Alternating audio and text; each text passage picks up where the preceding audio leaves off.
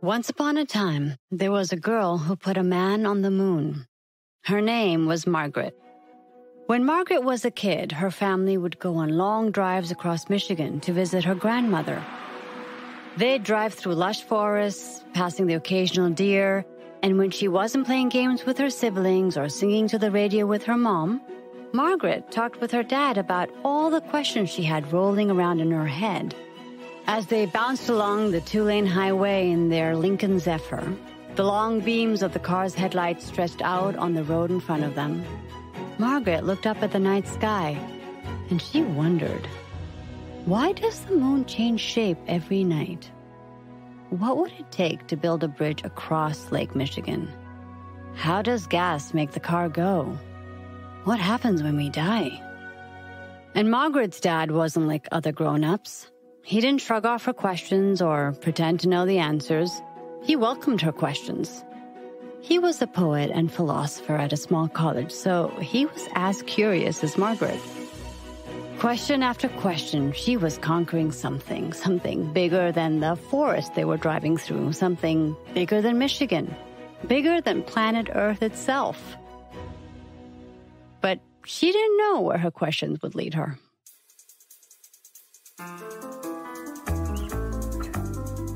I'm Poorna Jagannathan, and this is Goodnight Stories for Rebel Girls, a fairy tale podcast about the extraordinary women that inspire us.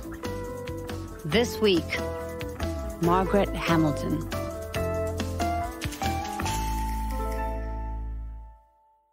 When Margaret started college in the 1950s, there were no computer science classes at all because computers were still a brand new thing. So Margaret majored in math and she studied philosophy and physics too. She didn't realize it at that time, but she was learning about all the things that made computers work. One day, she'd be a famous computer programmer. But first, she had a lot of studying to do. Now, Margaret was always one of the only girls in her math classes. But the head of the entire math department, she was a woman.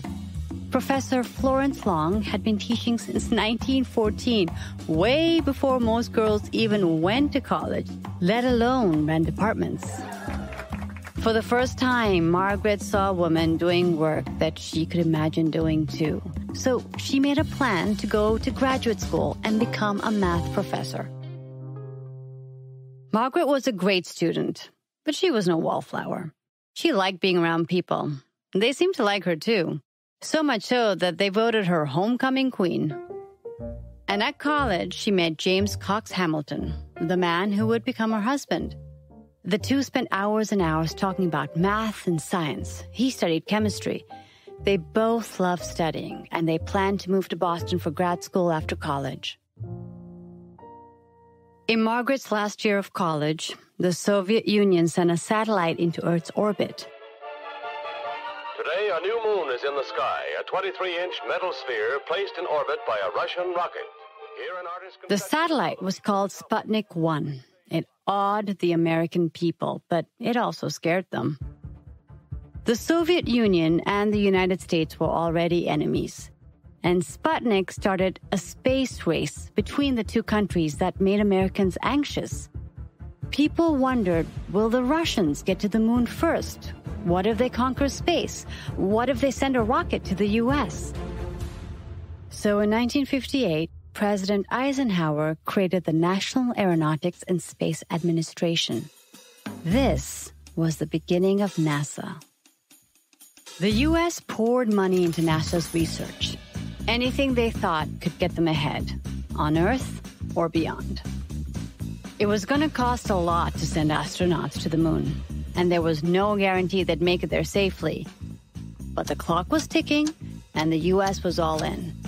If they didn't hurry, the Russians would beat them to it. Margaret and James packed up everything they owned and set off for their new life in Boston. They were both headed to graduate school. But looking out the window at the fields and the houses as they drove across the country, Margaret found herself lost in thought. With both of them in grad school at the same time, money would be tight. So Margaret proposed a radical idea. what if they took turns? First, she'd support them while he got his degree, and then it'd be her turn to go to graduate school while he worked. A woman supporting a man was practically unheard of at the time. But James didn't care, and Margaret was thrilled by the idea of working. Every day she'd scour the newspaper for jobs, and she found one at the Massachusetts Institute of Technology, MIT. A professor in the meteorology department needed a research assistant who was a whiz at math, and he found one in Margaret. Professor Lorenz was designing computer programs that could predict weather patterns. It was Margaret's first introduction to writing computer code, and she was hooked. While coding, Margaret could take a question like, How far away is a thunderstorm? And she'd turn it into a mathematical language that the computer could understand. The computers back then were huge, by the way.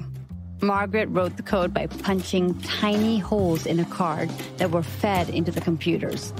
It was tedious and time consuming, but when it worked, it was incredible. And Margaret was a natural. Soon, her new skills landed her another job at MIT, one that would take her a step closer to space. But first, she became a mom. On November 10th, 1959, Margaret gave birth to her one and only child. She named her Lauren. Margaret was only 23 years old and she loved her job. She saw no reason why becoming a mother would change that. But not everyone felt that way. James was studying at Harvard Law School, and the students there were almost entirely men. Once a year, at an annual event, the wives of these Harvard law men were expected to pour tea in a ceremony for their husbands and professors. No way, said Margaret. She didn't consider herself a Harvard law wife. Besides, she had more pressing things to do than pour tea. Man had his first great success in space when the Russians pushed a man across the threshold. He was Yuri Gagarin, the astronaut the Russians lionized as the first to orbit the Earth. It was the first a satellite and now a man in outer space. Russia was getting ahead. Like Margaret, President Kennedy was disappointed, but he was determined too. So he gave a speech that was broadcast across the country. We choose to go to the moon in this decade and do the other things, not because they are easy, but because they are hard. It was the greatest pep rally of all time, and Margaret wanted to be part of it. So when she heard that NASA was teaming up with a lab at MIT, she wasted no time. Soon, Margaret had two interviews for different jobs working on the NASA project, and she was offered both. Margaret was psyched, but she didn't want to disappoint anyone. So she told them to flip a coin to decide who'd hire her. Either way, she was going to work for NASA. Margaret's job was to write the navigation program that astronauts used to steer their spaceships. And everything had to work just right. Even the tiniest typo could lead to a catastrophe for the Apollo team using these programs in space. She had to make sure the astronauts got to the moon and back safely. Margaret and her team wrote so much code for NASA's computers that a printout of it could reach the top of Margaret's head. There's a famous photo of her from back then. She's standing next to a stack of the code they wrote. She's wearing a mini dress and big glasses. She has long, wavy hair, and she's smiling. She's 33 years old. Margaret was one of the only women working on the Apollo program, but she never felt like her coworkers treated her differently. They cared more about how fast she could write code than anything else. But there was one way she was different from the rest. Margaret was a mom. With the president, the country, and the whole world watching to see if the U.S. could get a man to the moon, Margaret had to work nights and weekends. So she brought Lauren to the lab with her. Sometimes the four year old would fall asleep on the floor of the office overlooking the Charles River. Other times, Lauren would use the lab like a playground. See, the engineers had to test everything they built in the lab so they knew it would work in space. They would run simulated flights over and over again, and they would sort of play at being astronauts. Whenever Margaret added new code to the program or had to rewrite some of it, she tested out to make sure the program still worked. Lauren would sit on the ground coloring as her mother typed out code on her computer. But then, when Margaret was ready to test the code, Lauren would stop to watch, transfixed as her mother flipped switches, turned dials, and sometimes laid on her back and worked computers overhead, just like an astronaut in a cramped spaceship. This all looked like a game of make believe, and Lauren wanted to play too. Margaret didn't mind, so she let her fiddle around with the flight simulator when she wasn't using it. But one day, Lauren flipped a switch that the programmers never meant to be used during the flight. She accidentally started a pre-launch program when the simulator was mid-flight. This confused the computer and it crashed in a big way. Margaret ran to see what had happened. To her, this was a happy accident. It was exactly why they ran simulators. She thanked Lauren for calling her attention to this, her little engineer helper. Margaret went straight to her bosses. She told them she wanted to add code to make sure that this would not happen in space. But the guys at NASA told her not to worry. After all, astronauts were trained to never make mistakes. But it turns out they were wrong. On December 21st, 1968, NASA sent three astronauts on the Apollo 8 mission to orbit the moon. And on the fifth day of the mission, when the ship was headed back towards Earth, an astronaut did exactly what Lauren had done. He accidentally started a pre launch program when the ship was still in space. This wiped out the computer's navigation data, and without it, the astronauts couldn't get home. After nine hours of searching frantically for a solution, Margaret and the rest of the team back at MIT programmed a way to guide the astronauts back to Earth. She saved the day. But she was annoyed that NASA hadn't believed her and Margaret wanted to make sure this never happened again. The six-minute mark in our countdown for Apollo 11. Now five minutes. Seven months later, on July 16th, 1969, three astronauts boarded the Apollo 11 spaceship and launched into Earth's orbit. Three, two, one, zero. All engine running. Liftoff. We have a liftoff. 530 million people watched them take off. This was the mission Margaret and the rest of the team had been working towards. NASA had installed a camera on board so the astronauts could send pictures back to Earth for a live TV broadcast. Whether they succeeded or failed, the world was watching. Just minutes before Apollo 11 reached the moon's surface, the computer started spitting out frantic error messages. The mission was in danger.